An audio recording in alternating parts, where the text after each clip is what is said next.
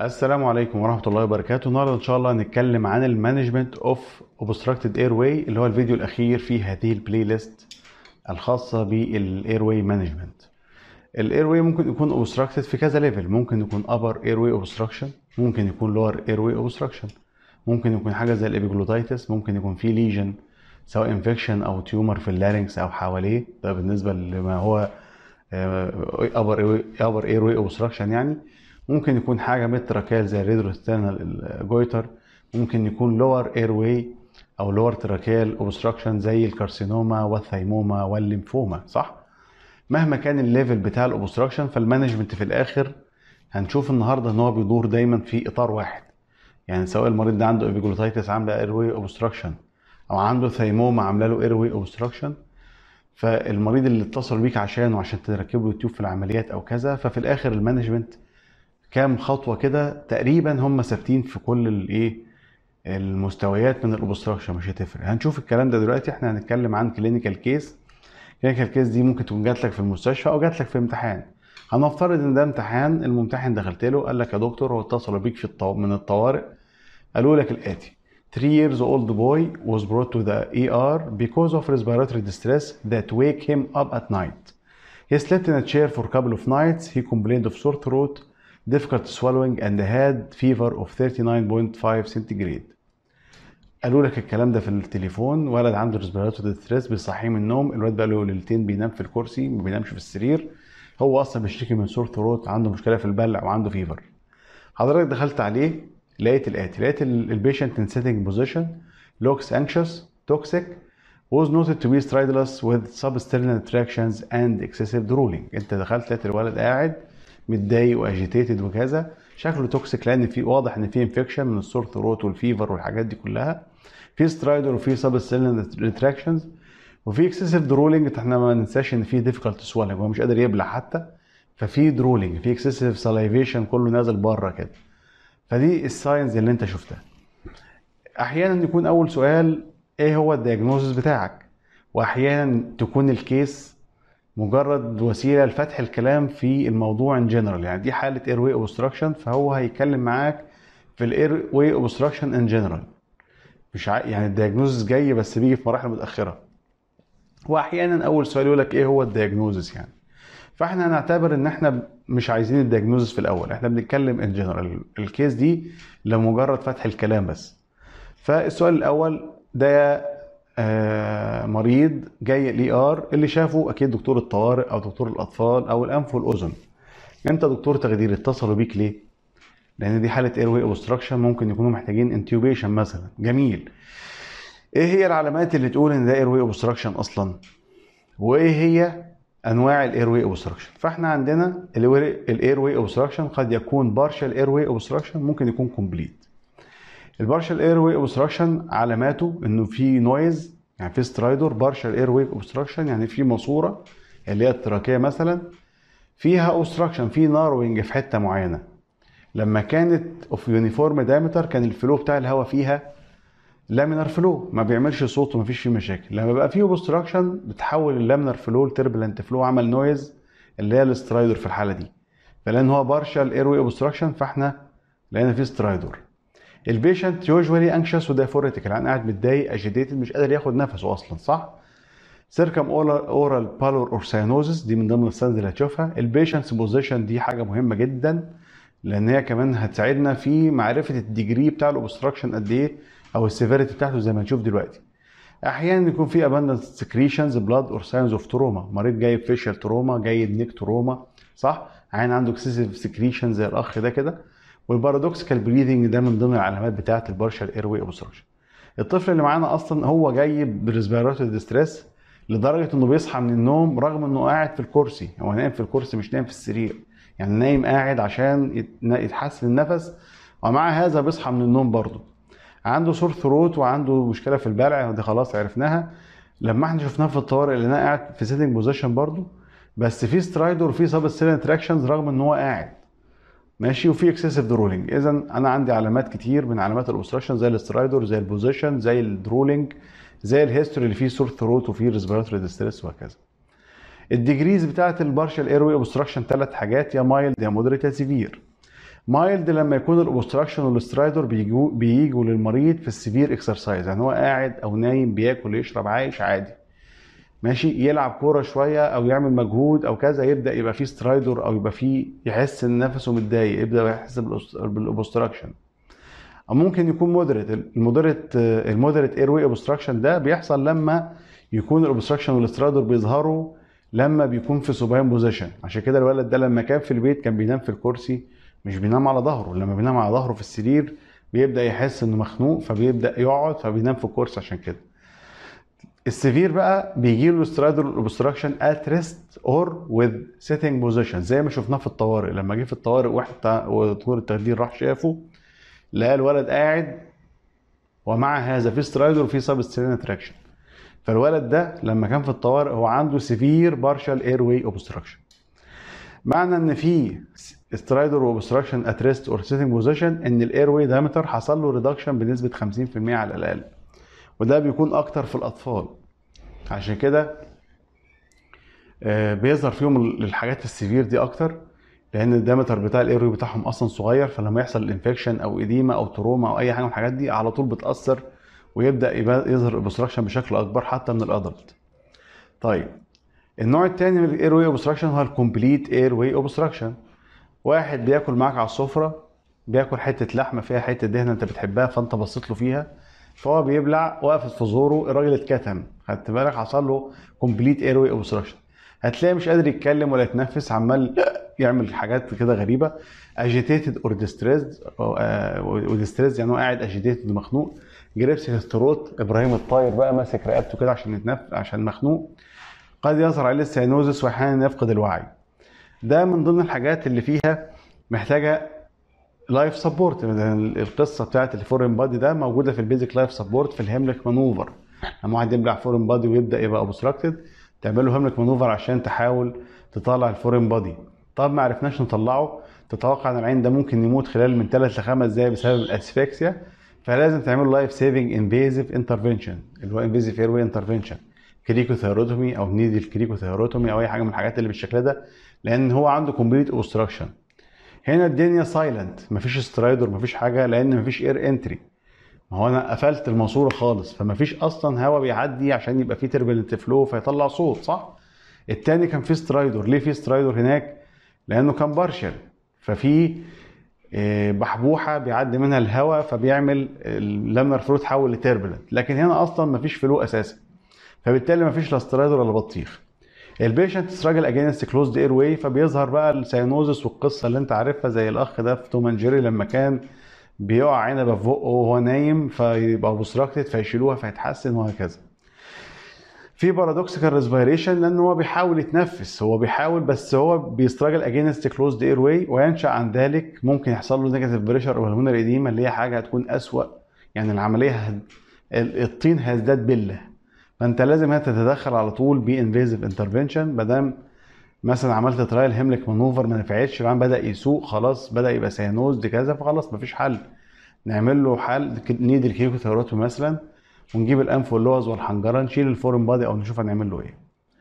فهي دي أنواع ال airway obstruction طيب السؤال اللي بعد كده هيقول لك إيه ال differential diagnosis بتاع ال airway obstruction إحنا لازلنا معتبرين ال case حاجة بنفتح بيها الكلام.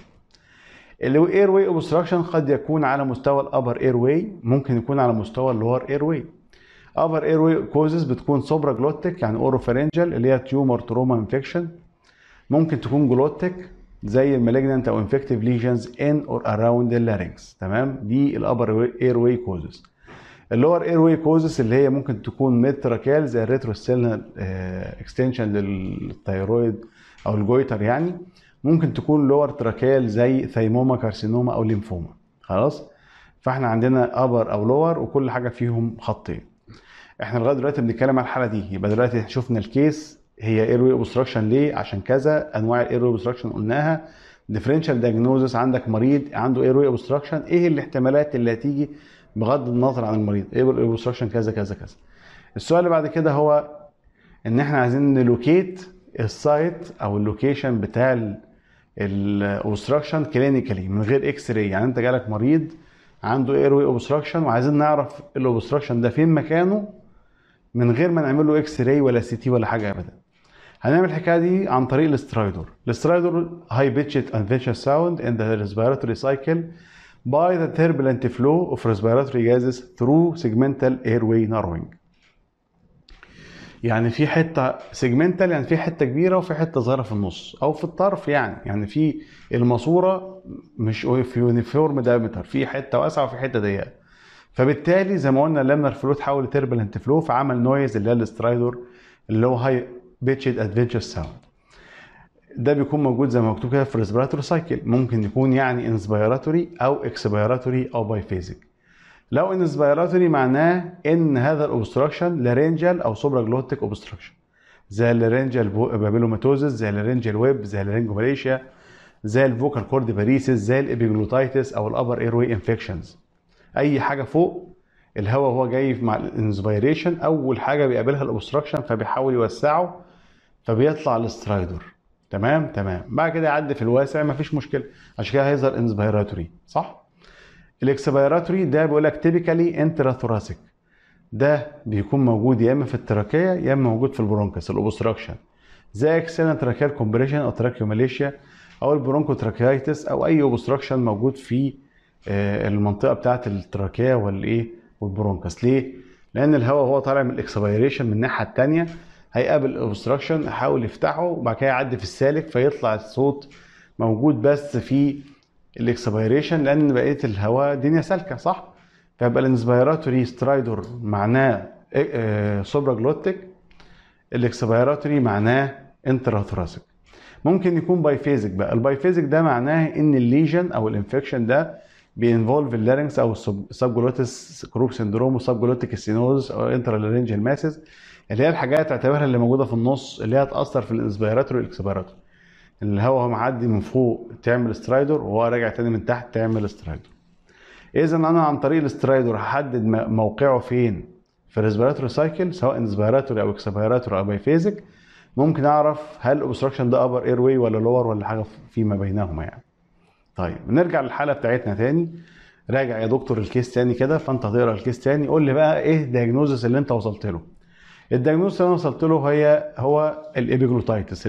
ال epiglottitis دي عبارة عن severe sore throat هو غالبا بيكون bacterial infection غالبا كان ال Haemophilus influenzae B وبعدين لقوها كمان بتيجي من ال Neisseria meningitidis وبتيجي من ال Candida albicans وشوية حاجات تانية كمان كده.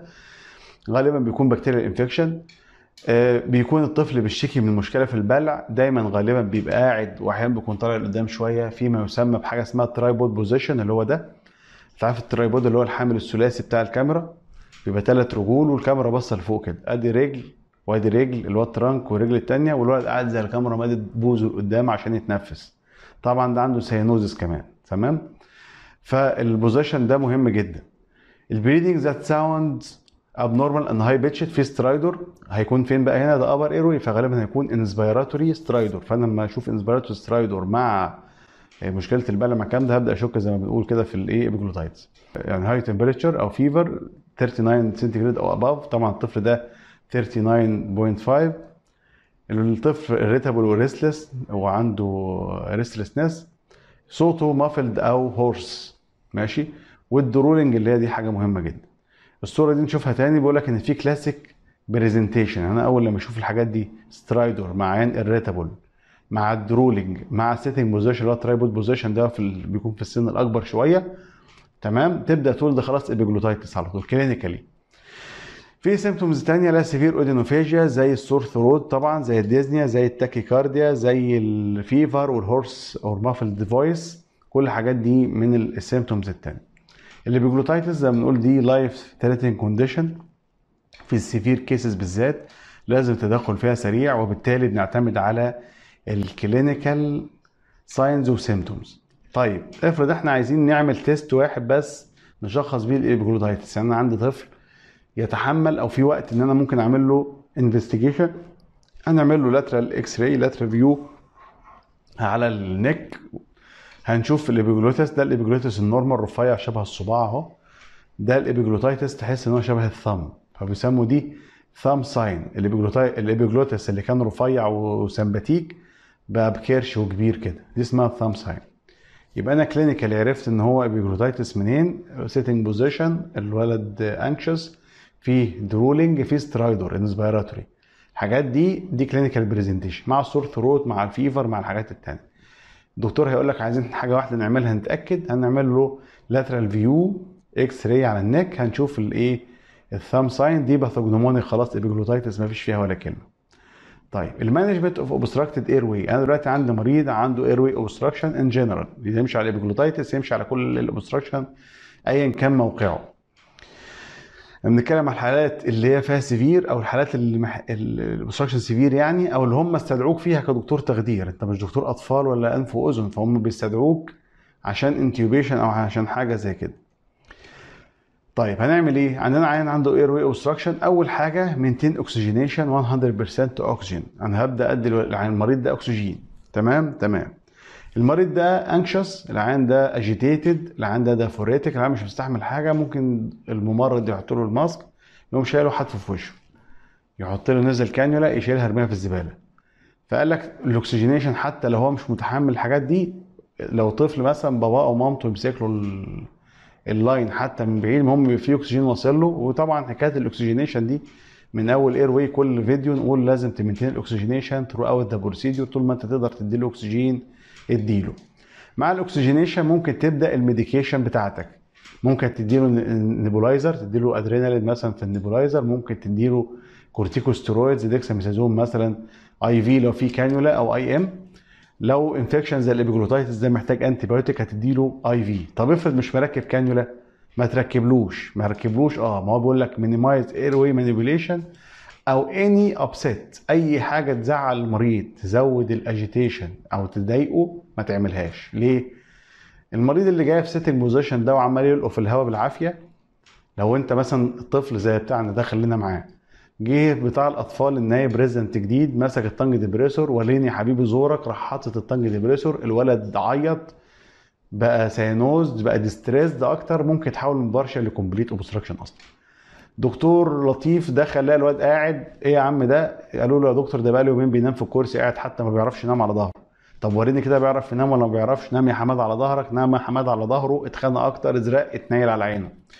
تمام؟ حماده مش مركب كانيولا عايزين نديله antibiotic تعالى نركب له كانيولا. ركبنا له قعد يشد ايده ويعيط بقى agitated بقى distressed أكتر ممكن يتحول ل complete فكل الكلام ده ملوش لازمة. فاحنا ه ن minimize ال airway manipulation لحد ما يجي ال expert اللي هو انت. يعني المفروض الحالة دي في الطوارئ دكتور الطوارئ شاف الطفل suspected epiglottitis مش هيستخدم ال tongue depressor مش هيقول له نام على ظهرك مش هيحاول يركب له كانيولا إلا لو كان متعاون وما عندوش مشكلة. أي حاجة تزعل العيان أو تضايقه مش هنعملها.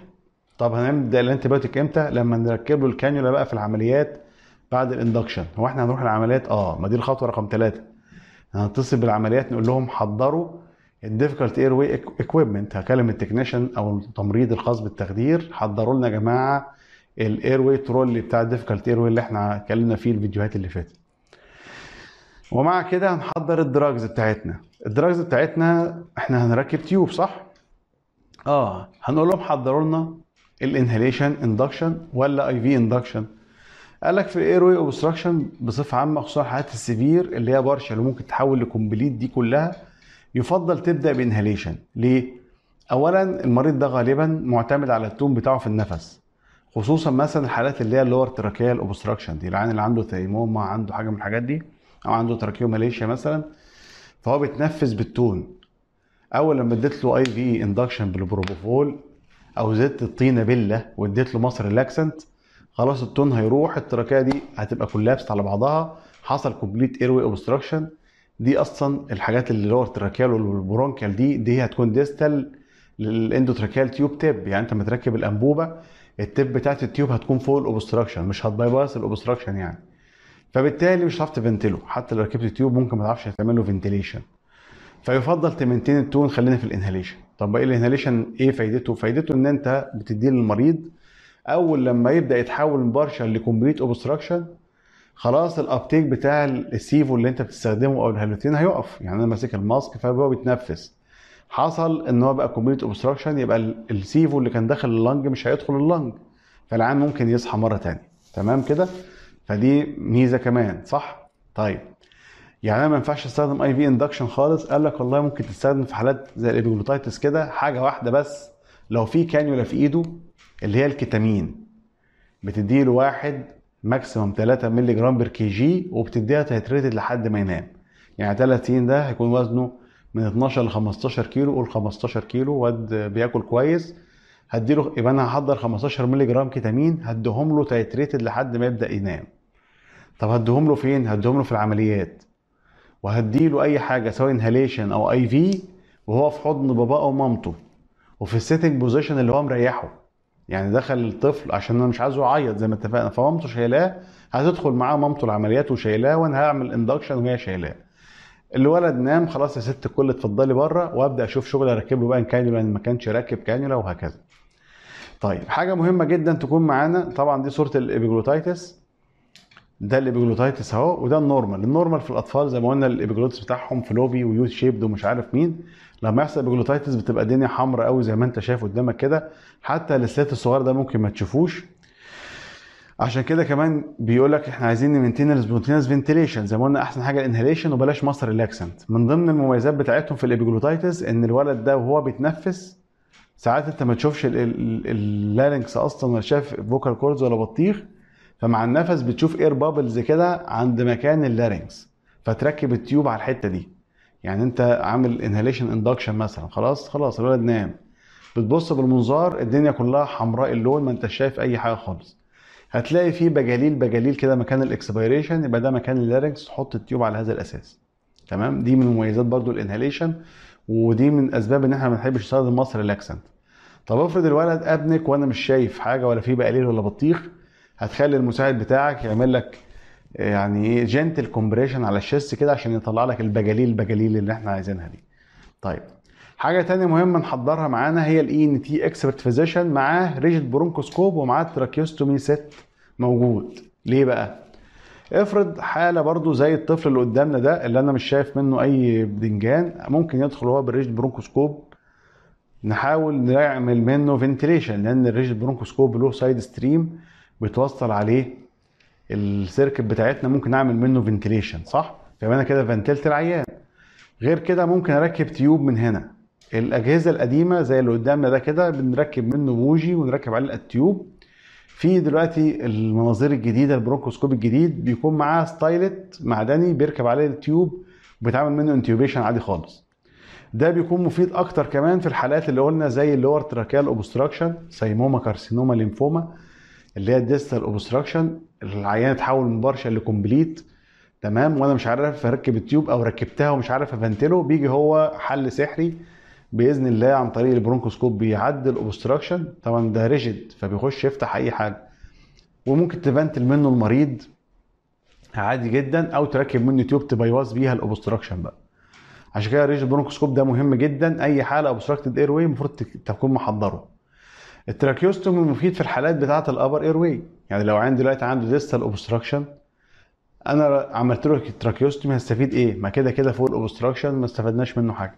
لكن لو عيان عنده upper airway obstruction زي ال epiglottitis ده الطفل ده لو ما عرفناش نركب له tube نهائيا لا بمنظار ولا ب GlideScope مثلا ولا fiberoptic ولا بدي طبعا fiberoptic في الحالات اللي بالشكل ده ممكن ما يكونش مفضل لأن أنت على ما تحضره بتاع هيفوت وقت كبير.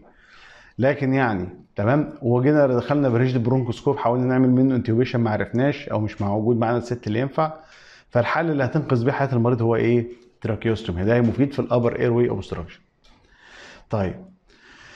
بعد كده عندنا ال post intubation management لازم نفكر فيها بقى. المريض ده epiglottitis عملنا له tube intubation يعني أو فشلنا فعملنا له tracheostomy مش هيفضل معانا في العمليات العمر كله صح؟ هيروح فين؟ هيروح ال ICU ياخد ال medication و فلازم نفكر في ال post intubation management طيب مريض جاي كان عنده مثلا هو عنده myasthenia gravis وكان عنده thymoma وشالوها وكل فترة لما بيجي له مثلا chest infection ولا بتاع بيجي ب airway obstruction وجه النهارده في collapse ومش عارف إيه وما عرفوش يركب له tube المهم ركبت بالعافية و هيفضل بقى طول عمره كده على ال tube ولا نشوف له حل؟ المفروض نبدأ نفكر في حلول زي ال stenting مثلا زي ال tracheobronchoplasty زي ال tracheal resection هنتكلم عنها بعد شوية. يبقى أنا المفروض بعد بقى من ضمن ال management إن أنا بفكر بعد ال intubation هنعمل له إيه. تمام؟ يبقى أنا ه maintain ال oxygenation وأبدأ ال medication nebulizer مثلا corticosteroids أديله antibiotic لو في كانيولا. ه minimize ال airway manipulation وأي حاجة تزعل العيان مش هعملها أصلا. هتصل بالعمليات أقول لهم حضروا ال difficult airway equipment اللي من ضمنها tubeات صغيرة يعني حالة زي ال epiglottitis دي أنا هركب له tube أصغر من المقاس المعتاد بتاعه بالنص الواحد. يعني فرضا المفروض الطفل ده ثلاث سنين وليكن هركب له tube مثلا أربعة ونص يبقى أنا هحضر له tube مقاس أربعة. هحضر له tube ثلاثة ونص كمان لأن ال obstruction وال narrowing اللي زي الصورة اللي كانت موجودة دي شوف حاطط له tube صغيرة. ممكن هو في العادي ياخد أكبر من كده بس أنا بسبب ال edema وكده هحط له مقاس إيه؟ أصغر صح؟ فلازم ناخد بالنا. مع ال inhalation أو ال IV والله مركب كانيولا الطفل من الأول يبقى أنا ممكن أديله كيتامين.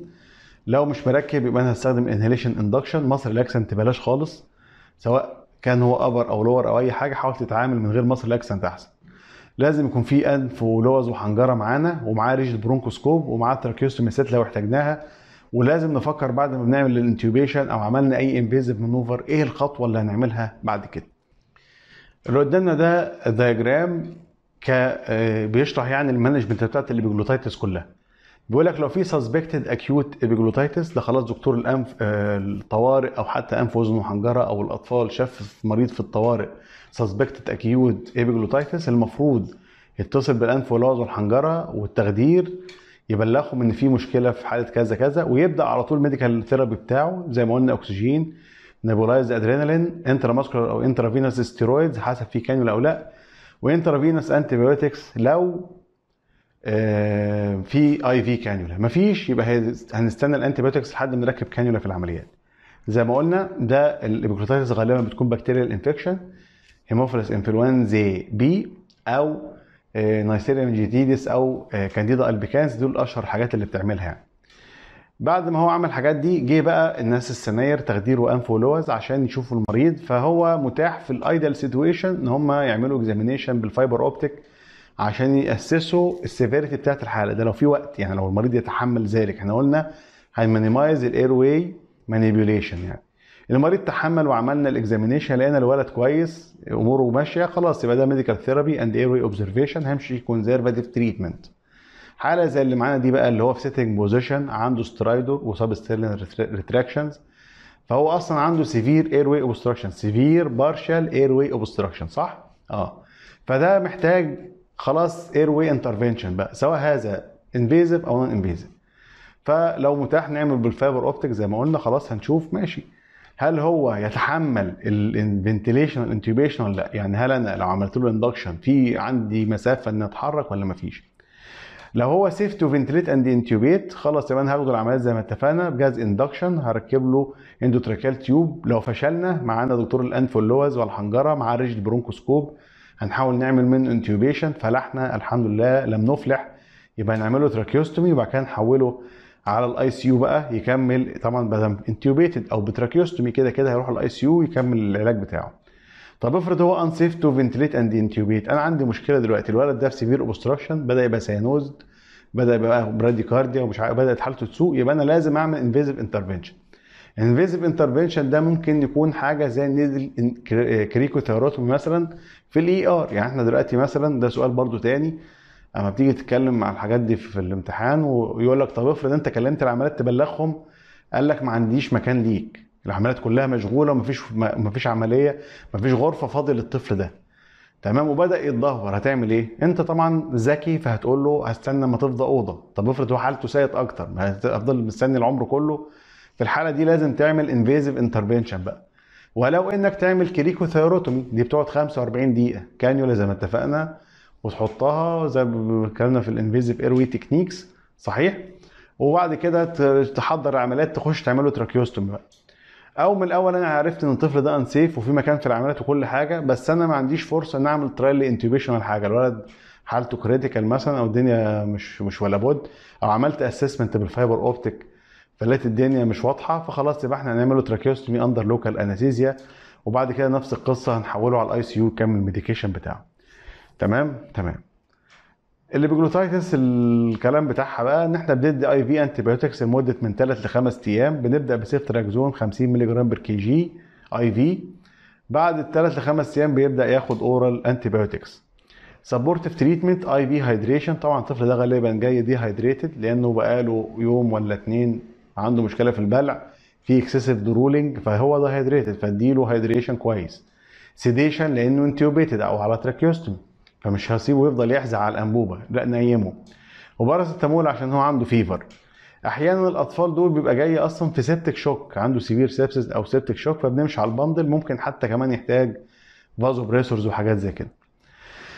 في نسبة 7% من الحالات اللي هي ال severe cases بيجي له كمان pulmonary edema، pulmonary edema بتظهر من أول لما تركب ال tube هتلاقي frothy secretions وحاجات طالعه لك تسمع تلاقي crepitation عملت chest X-ray لقيت ال edema واضحة. ده بيبقى على controlled ventilation و PEEP مع diuretics خلاص؟ ده ال management بتاعه. غالبا ال epiglottitis بيبقى extubated في خلال من 24 ل 48 ساعة.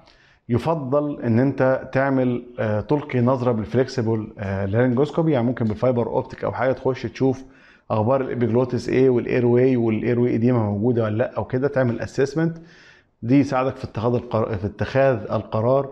طبعا مع ال leak test والحاجات اللي بتتعمل عشان نشوف ال extubation ناسس ال trial of extubation يعني. طيب الحاجة اللي هنتكلم عنها بعد كده اللي فات ده كله ده ال airway management بتاع obstructed زي ما اتفقنا. يبقى إحنا لو هنطلع بحاجة من الفيلم ده كله هو ان إحنا عايزين نثبت ال management مهما كان ال level بتاع ال obstruction oxygenation مع ال medication nebulizer و و corticosteroids و antibiotics اللي هو bacterial infection مثلا هن هن هن minimize ال airway manipulation وأي حاجة تعمل upset للمريض المريض ده هيبقى intubated في العمليات بجهاز induction أحسن. هنحضر ال difficult airway trolley مع تيوبات تكون مقاساتها أصغر. هنكلم الأنف وأذن وحنجره مش هنشتغل أصلا من غيره. مع rigid ال bronchoscope ومع ال tracheostomy سات لو احتاجناهم. لو إحنا عملنا intubation الحمد لله successful سواء إحنا اللي عملناه أو الأنف والأذن عملوا عن طريق rigid ال bronchoscope الحمد لله. أو حتى عملنا tracheostomy لازم نفكر في ال post intubation plan هنعمل إيه بعد كده للعيان ده تمام؟ هيروح طبعا ال ICU ونبدأ نفكر. حالات زي ال lower tracheal compression هنتكلم عنها دلوقتي هنشوف هنعمل لها إيه. دلوقتي هنتكلم عن ال airway obstruction and induction of GA يعني مثلا جاي لك عيان في حادثة. عيان جاي في حادثة عربية عنده facial trauma أو neck trauma وهيعمل exploratory laparotomy على rupture spleen مثلا. هنحضره إزاي ده يا برنس الجيل؟ شوف يا سيدي لو ال obstruction اللي عند المريض ده upper airway يعني المريض جاي facial trauma مثلا أو trauma يعني في ال neck بس المشكلة عنده فوق ال larynx فأنا هبدأ أشوف. هل ليت ال intubation يعني ليت ال expected difficulty مع no airway obstruction ان هو عنده مثلا fracture mandible بس بتنفس ما عندوش obstruction ولا في stridor ولا بطيخ. وبسبب ال fracture ده أنا متوقع ممكن يبقى ال intubation صعب شوية بس الأمور هتمشي. فأنا هشوف ال induction بقى يا إما IV يا إما inhalation حسب إيه؟ حسب ال risk of aspiration مريض زي ما قلنا جاي في حادثة يعني يعتبر full stomach فأنا عايز أعمل rapid sequence induction يبقى أنا هشتغل IV أعمل IV induction مثلا propofol و suxamethonium والقصة دي. طب أنا لو ما عنديش risk of aspiration وأنا مقلق منه لأن ممكن يبقى obstructed برضه يبقى أنت ممكن تعمل inhalation induction لو هو severe expected difficulty مع little airway obstruction يبقى هنعمل inhalation induction وهتصل بالأنف واللوز والحنجره كالعادة أي حالة أنت شاكك إن في airway obstruction وخايف منه أو مقلق تكلم الأنف واللوز معاك. الأنف واللوز ده هيعمل rigid bronchoscopy هيعمل tracheostomy أو مفيد برضه. تمام؟ فلازم يكون ال ENT موجود مع rigid bronchoscope وال tracheostomy set جاهز. لو حالة بقى وال severe airway obstruction خلاص؟ severe airway obstruction آه لا أنا هعمل له awake intubation ومعاه ال ENT معاه rigid bronchoscopy و tracheostomy برضه set جاهز. خد بالك إحنا بنتكلم عن upper airway obstruction obstruction فوق. فأنا لو عرفت أركب tube بال fiber optic ماشي rigid bronchoscope ماشي ما ينفعش. لو عملت tracheostomy اللي هو الانف واذن عمله يعني العيان اموره هتمشي. آخر حاجة the most severe cases of airway obstruction ده خلاص surgical airway access أنا جاي لمريض زي ما قلنا بالع حتة لحمة اللي كان بياكل على السفرة وحد باصص له في الحتة اللي في إيده فهو بياكل راحت بلعها وقفت في زوره آه بقى obstructed مش عارفين مش عارفين نشوف له حل مش قادر يتنفس. خلاص ده surgical airway قلت له cricothyrotomy اعمل له tracheostomy اعمل له تعمله له. خلاص؟ ممكن تستخدم الهيليوم اللي هو هيقلل ال density بتاع الأكسجين فيحسن ال oxygenation والقصة دي. لو ال obstruction بقى lower airway mid tracheal obstruction زي حالة مثلا عندها retrosternal extension لل thyroid تمام؟ هنعمل له إيه؟ أول حاجة ال retrosternal goiter ده ده هو أكتر cause زي ما قلنا لازم نعمل له CT أو MRI ال CT وال MRI هيوروا لك إيه؟ هيوروا لك هل في deviated ال trachea ولا لأ ال trachea في مكانها ولا لأ وهل في narrowing ولا لأ. غالبا ال retrosternal goiter ده نادرا ما بيعمل narrowing في ال airway اللي هو يعمل severe obstruction يعني. لكن ممكن يعمل tracheomalacia ممكن يعمل مشاكل تانية. فاحنا هنعمل لها assessment بال CT وال MRI لقينا الدنيا تمام يعني افرض deviated وكل حاجة بس ال diameter كويس ومفيش مشكلة. وده غالبا اللي بيحصل. خلاص ده easy intubation هنقيمه بنج بلدي. induction عادي و tube عادي ما عنديش مشكلة. ده عيان مثلا جاي يشيل ال thyroid جاي من thyroidectomy أساسا. تمام؟ تمام. طب أنا توقعت إن في difficult intubation أو في airway obstruction قال لك ده في narrowing ده في كذا. المريض قال لك على symptoms توحي إن هو عنده tracheomalacia أعمل إيه؟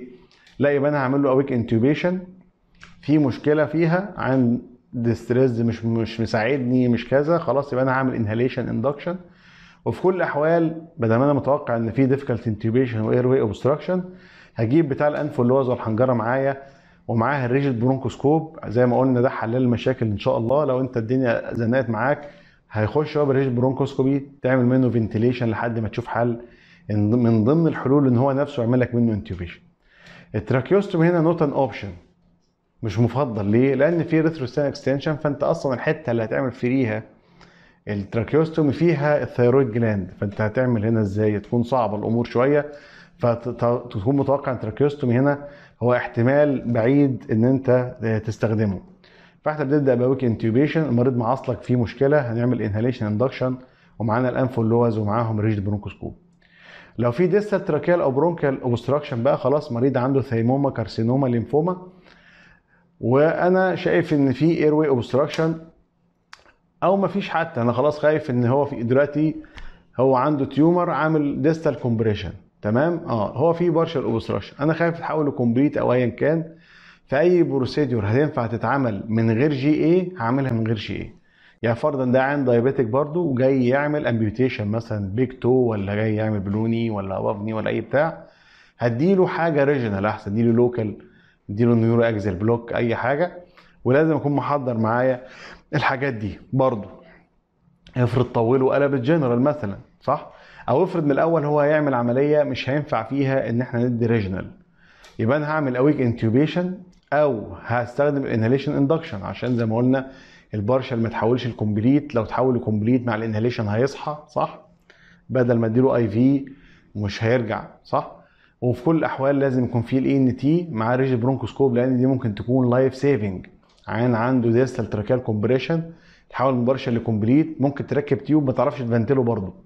الحاجة اللي هتحل لك المشكلة هو rigid bronchoscope. هي bypass ال obstruction تعمل منه ventilation ممكن تركب tube تعدي بيها ال obstruction كمان.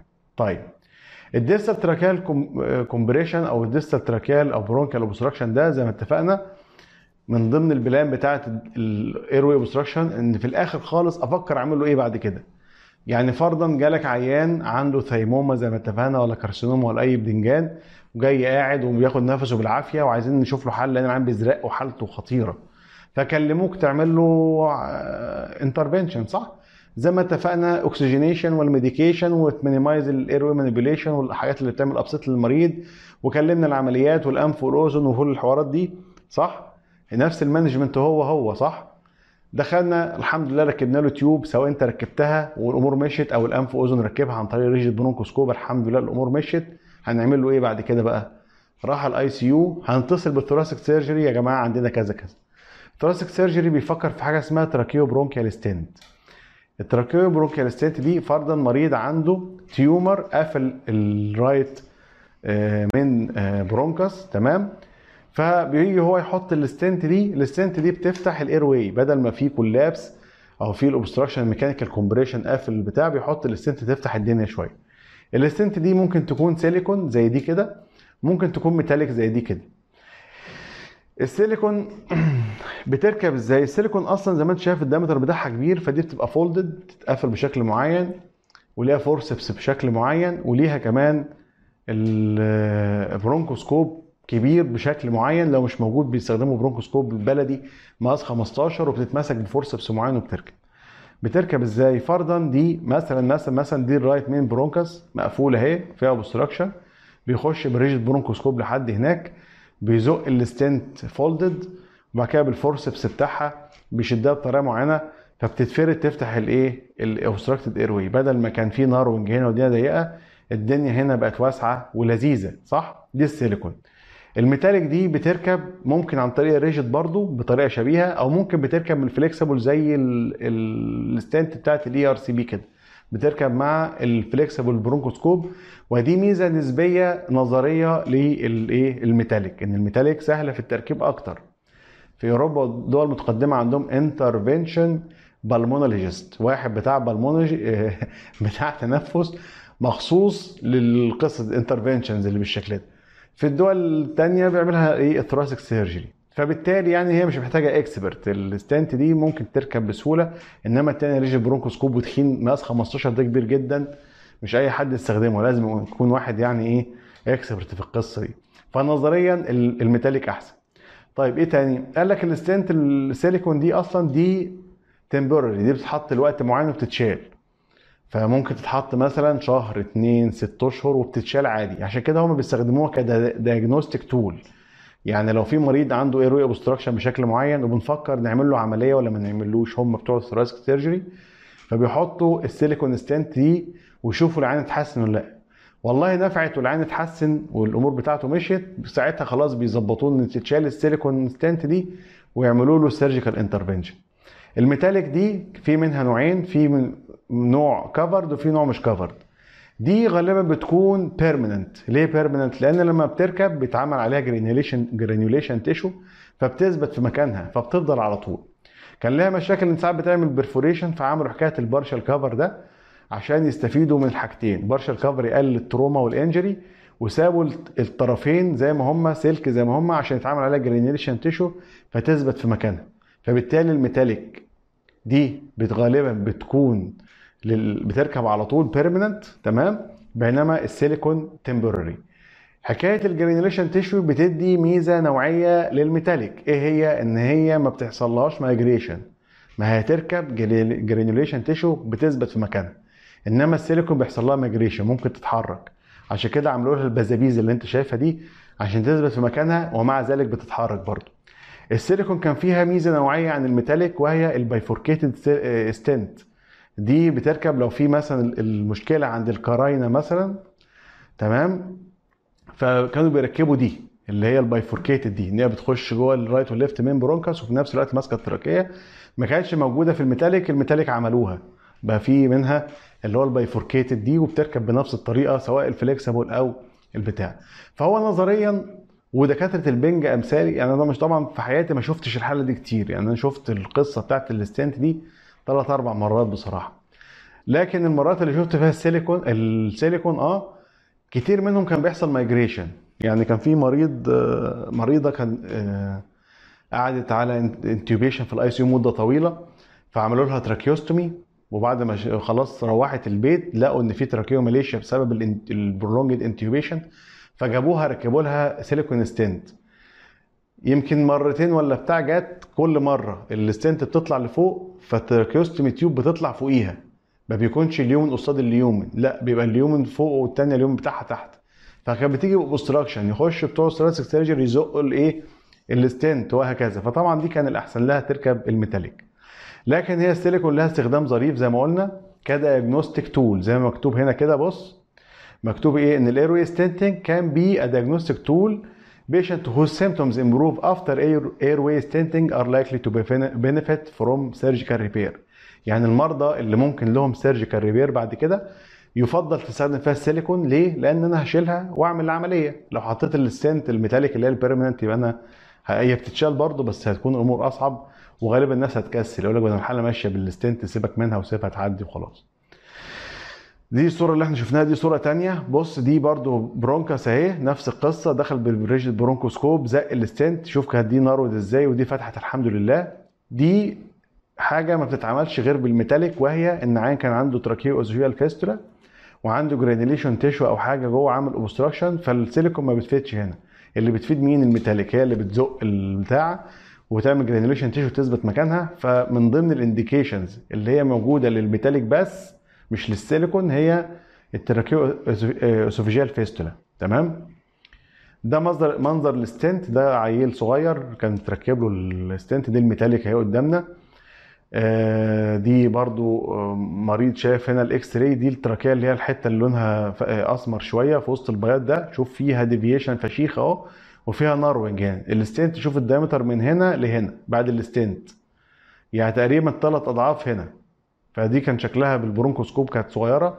وهنا إيه بعد ال stent ال metallic دي طبعا واضح إنها partial cover ده شايف ال stent هنا ال diameter وسع جدا حلت المشكلة. طيب الحل العملية بقى اللي بتتعمل. يعني مثلا عندنا دلوقتي عملنا له ال metallic البتاع ده السيليكون stent واتحسن فعايزين نعمل له جراحة. إيه الجراحات المتاحة؟ أول حاجة حاجة اسمها تراكيو برونكو بلاستي تراكيو برونكو بلاستي دي إن هم بيجيبوا Prolene mesh ويعملوا reinforcement لل posterior wall بتاع ال trachea يعني مثلا هنا في هنا آه، دي أهو بيجي بيجيب ال mesh ويعمل reinforcement لل posterior wall بال polypropylene آه، mesh. العملية الثانية اللي هي tracheal resection أو reconstruction دي اللي إحنا هنتكلم عنها في ال thoracic surgery إن شاء الله ما نعيش كان لنا عمر. إن أنا عندي في segmental compression أو أو stenosis أو narrowing هنا مثلا. فبتتعمل عمليه ان هو بيشيل بيقص الحتة دي وبيجيب إيه بيعمل زي ال pull up كده بيجيب الحتة اللي فوق مع الحتة اللي تحت ويوصل يفتح الصالة على أوضة النوم يعني. خدت بالك أنت؟ وي- ويتجاوز البصاق الحتة دي هتتشال وتترمي خالص ويوصل بقية القصبة على البتاع. ماشي؟ آه، ده بالنسبة لل interventions يبقى أنا عندي العيان ال airway والبتاع الحاجات ال reversible causes زي ال epiglottitis هدي له medication ومش عارف فيها اظبطه الحالات اللي هي مش reversible causes زي ال mechanical obstruction في ال distal أو ال lower tracheal compressions والحاجات دي يبقى أنا هركب له stent أو أعمل له عملية جراحية حسب ظروفه. آخر حاجة هنتكلم عنها بقى النهارده هي ال croup وال laryngospasm إحنا ال croup وال laryngospasm دي مشاكل بتحصل في التخدير عندنا post extubation من ضمن المشاكل ال complication بتاع ال intubation يعني المكتوبة. بيقول لك إن بعد ما بيتح... بنعمل إحنا extubation للمريض بيحصل له أحيانا spasm أو بيحصل له airway obstruction قد يكون بسبب laryngospasm أو بيحصل بسبب ال spasmodic croup. ال croup ده اللي هو بسبب ال edema اللي موجودة في ال larynx أو في ال trachea غالبا بيكون سب بسبب حاجات هنتكلم عنها دلوقتي. لكن في حاجة تانية اسمها ال croup syndrome ال croup syndrome ده مصطلح بيتكلم فيه بتوع الأطفال غالبا عن upper respiratory tract infection. في ثلاث خصائص. characteristic cough بيكون حاجة اسمها barking cough شبه آه، آه، نباح الكلب كده. inspiratory stridor قلنا خلاص أي upper airway obstruction هيكون معاه inspiratory stridor. و possible respiratory distress طيب ال croup syndrome دي غالبا بتؤثر على الأطفال من سن سنة لثلاث سنين وفي الواقع من سن ست شهور لثلاث سنين المتوسط بيكون 18 شهر. ال croup أصلا كانت بتطلق على حاجة اسمها laryngotracheobronchitis وال laryngotracheobronchitis دي دي viral infection بيتعمل أو بيحصل نتيجة الإصابة بال Haemophilus parainfluenza virus type 1 غالبا و type 2 3 كمان. فكان بيقولوا عليه croup syndrome. بعد كده بقى عندنا ثلاث حاجات اللي هم ال laryngotracheobronchitis اللي هو ال viral infection ده. معاه ال spasmodic croup معاه حاجة اسمها bacterial tracheitis الثلاثه دول هم الثلاثه interwoven within the croup syndrome الثلاثه في نسيج واحد تحت مصطلح ال croup syndrome لكن ال croup syndrome أول لما أطلق أطلق على ال laryngotracheobronchitis اللي هو viral infection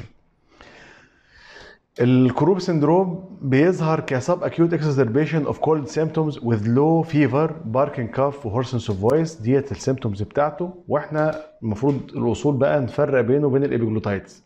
ال epiglottitis كان bacterial infection ل Haemophilus influenza influenza B bacteria مع ال Neisseria meningitidis وال Candida albicans وكده فكان غالبا بيكون bacterial infection يعني. لكن ال croup هنا ال laryngotracheobronchitis دي viral infection تمام؟ طبعا bacterial tracheitis معانا بس بنتكلم عن ال upper airway. خلاص؟ الحاجة الثانية إن ده viral infection فبالتالي بيكون فيه low fever لكن في ال epiglottitis كان high fever لأنه إيه؟ bacterial infection ده sub acute ال epiglottitis acute ال hoarseness of voice موجود هنا وهناك لكن هنا يميز بال barking cough ال drooling موجود في ال epiglottitis أحيانا بس نادرا بيحصل مع ال croup. بس ممكن يكون موجود.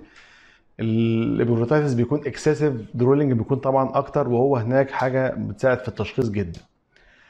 آخر حاجة ال croup syndrome ده self limited in most of cases لكن إحنا عندنا ال epiglottitis هيحتاج medication حتى لو mild أو moderate محتاج anti عشان ال bacterial infection ال croup syndrome عايزين نعمل لها assessment لل severity بتاعتها بنتكلم في الطب البلدي. هنشوف ال work of breathing هل في tachypnea هل في retractions ولا مفيش ال chest wall motion هل في tidal volume كفاية ولا مفيش ال overall appearance بتاع الطفل هل cyanotic هل obtunded هل comfortable ولا لأ. ال vocal quality الصوت أخباره إيه هل في stridor ولا مفيش هل diminished voice في ولا مفيش هناك كان طبعا بيكون muffled أو في hoarseness هنا في hoarseness برضه. وال severe croup بيقول لك أحيانا بيستجيب للعلاج وبيحتاج intubation فإحنا عشان كده بنأسس الايه ال severity بتاعته. ال assessment بتتعمل بحاجة اسمها Westley croup score ده score عادي.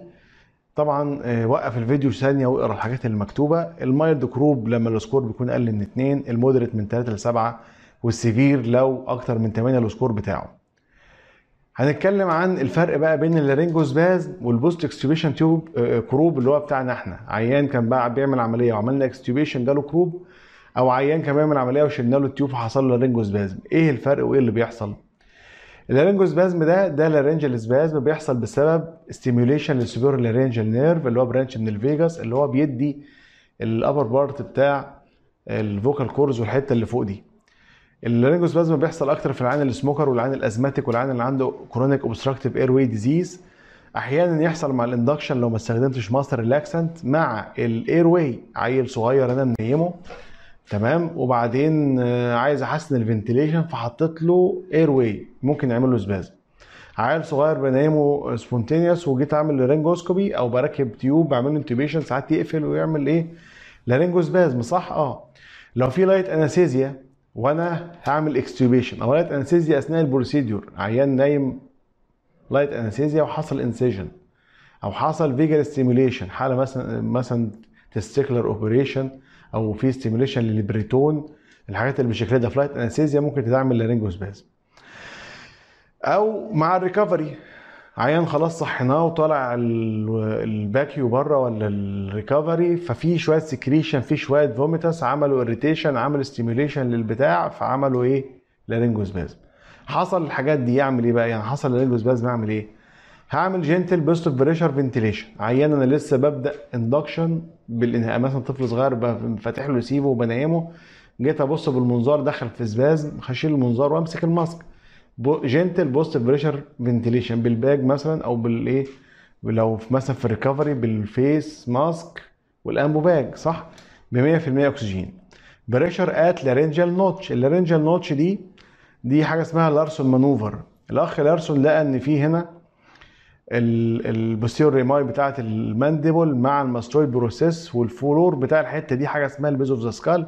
في الحتة الصغيرة دي كده كده كده أيوه في حاجة اسمها laryngeal notch الأستاذ لارسون قالك لما أنت عندي خش في laryngeal spasm لو عملت أنت حطيت صباعك وعملت pressure في ال laryngeal notch دي ال spasm بيفك. طب ليه بيفك؟ قال لك والله إحنا مش عارفين هو بيفك ليه. ممكن يكون عشان بنعمل jaw thrust مثلا ممكن. ممكن عشان بنعمل painful stimulus فالعيان بيصحى ممكن. ممكن ال pressure ده جاب ال deep cranial nerves مش عارف إيه فعمل vagal stimulation فالعيان فك. ممكن مع إن ال vagal stimulation هي أصلا اللي عملت ال spasm يعني أصلا. ما علينا. فالمفروض ده طبعا آه، هنجيبه إحنا إزاي؟ أنا يعني أنا مش شايف العظم. فقالك والله أنت تيجي ورا آه، ودن العيان وقدامك يعني الماستويد ورا صباعك والمندبل قدامك المندبل من امامكم والماستويد من خلفكم وتعمل pressure عند الحتة دي, دي عند الاستاذ كلينت ايستوود أهو وتعمل compression في الحتة دي. مع jaw thrust هيفك.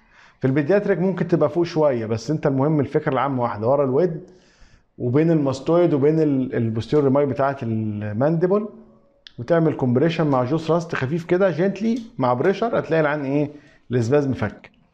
ما فكش هتدي له IV lidocaine واحد لواحد ونص مللي جرام per kg وفي الآخر وفي الحقيقة هو ده فعال جدا. ما فعلش يديله succinylcholine 0.25 مللي جرام per kg إن شاء الله هيفك.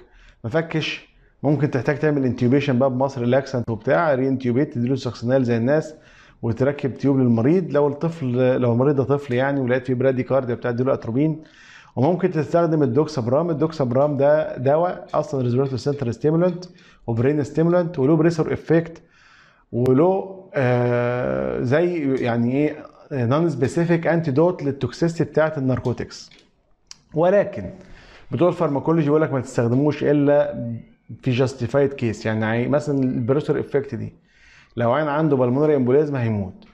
طيب افرض هو عيان عنده toxicity من المورفين يقول لك لا ما تديهوش خليك لطيف واديله naloxone. وطبعا المكان اللي ما فيهوش naloxone مش هيكون فيه doxapram أساسا يعني. تمام؟ آه فهو له استخدامات وإحنا هنتكلم عنه إن شاء الله مع ال myasthenia gravis إن شاء الله نتكلم عنه بالتفصيل. طيب ال post extubation croup ده بقى ده عبارة عن edema موجودة في ال trachea أو في ال larynx غالبا عند cricoid بتاع ده cartilage اللي هو اضيق حتة في ال airway بتاع ال pediatric patient نتيجة إيه بقى؟ نتيجة الآتي. هو اولا بيحصل في الأطفال من سن السنة لأربع سنين. بيحصل لما يكون في multiple intubation attempts يعني أنت دلوقتي طفل قلت له هاتوا لي tube مقاس خمسة. جيت تركبها لقيتها كبيرة قوي هاتوا لي الاصغر قالوا ما فيش غير مقاس أربعة حطيتها لقيتها صغيرة قوي. فجابوا لك أربعة ونص ركبتها الحمد لله الأمور مشيت. ال multiple attempts دي ممكن تعمل ال edema دي في الأطفال عشان قلنا هم كانوا بيقولوا يعني أنت لو شفت الفيديو الأولاني بتاع أنبوبة ومنظار ربك هو الستار حكينا القصة كلها وليه بقى في دلوقتي حاجة اسمها high volume low pressure cuffed tubes في ال pediatric بتستخدم والحاجات دي. إن كان بيقول لك الأول إن في ال mucosa بتاعت ال trachea بتاع الأطفال loose وبالتالي بيحصل عليها compression خصوصا لو مدة طويلة بيحصل edema ويحصل ischemia وحاجات زي كده. فلما انت بتعمل multiple intubation attempts بتعمل القصة دي. لو استخدمت cuffed أو لا أو large endotracheal tube في ال pediatric بس مفيش air leak at 15 to 25 centimeter water pressure إحنا كنا في القصة دي وقلنا مع كين وموتوياما والحوار بتاعهم دوت وسالجو.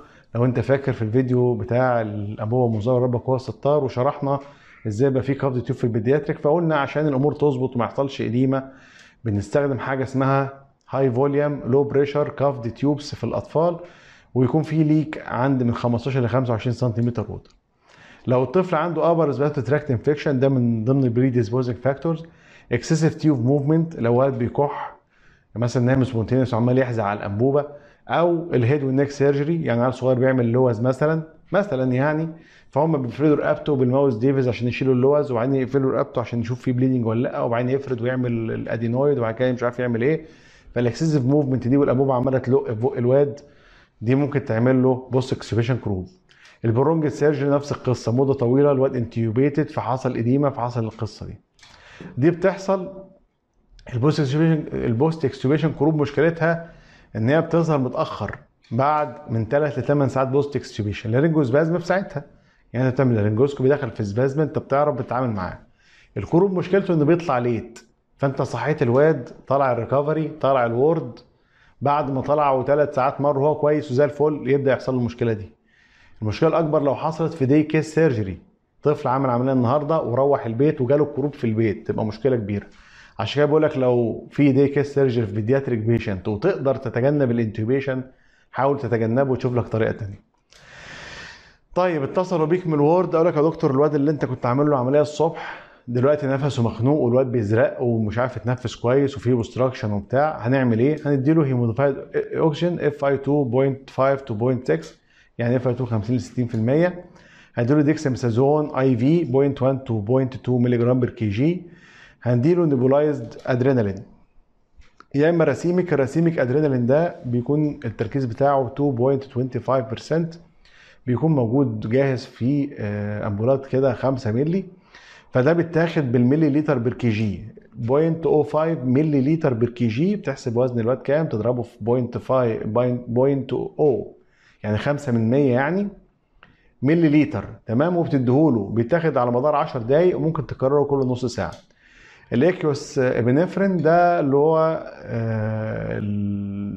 واحد ل 100000 برضو المفروض في preparation لل nebulizer بيبقى في 5 مللي saline بتحسب ال dose برضو بالملي لتر بس. 0.5 بس ال racemic 0.05 ال aqueous 0.5 بس ملي لتر per kg طيب الحاجات دي اتعملت وما نفعتش. طبعا برضو الأدرينالين سواء ده أو ده ممكن يتكرر كل نص ساعة. ما نفعتش الحاجات دي يبقى انت ممكن تحتاج intubation نفس الحاجات اللي بتاع ال obstruction صح؟ فاكرها؟ هنتصل هن هن minimize البتاع ون maintain ال oxygenation ونكلم العمليات ونكلم الأنف والأذن والكلام ده كله. فعملنا re-intubation ما فلحناش يبقى ممكن نعمل tracheostomy لأن ده ده obstruction ممكن يكون ده laryngeal edema موجودة في المنطقة بتاع ال cricoid زي ما قلنا. cricoid cartilage فأنت ممكن نستفيد هو بال tracheostomy لو إحنا ما عرفناش نركب له tube طبعا لما بت- بتقرر بقى تعمل intubation أو الحاجات دي كلها بتستخدم 100% أكسجين. الأطفال غالبا المفروض يعني إن ال hypoxia وال hypercarbia بتبدأ معاهم على طول ب bradycardia وكده فأنت ممكن تحتاج تديله أتروبين فتكون محضر أتروبين. ولما الدنيا تعك بدل 0.5 to 0.6 هتستخدم 100% أكسجين. كده يبقى إحنا خلصنا الفيديو دوت ومعاه ال playlist بتاعت ال airway management كله. آه، إلى لقاء قريب جدا إن شاء الله. والسلام عليكم ورحمة الله وبركاته.